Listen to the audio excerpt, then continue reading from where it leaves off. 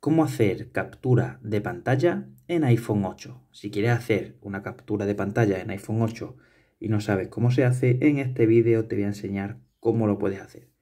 Esto es algo muy sencillo y como hago en todos los vídeos del canal, lo voy a explicar de una manera rápida.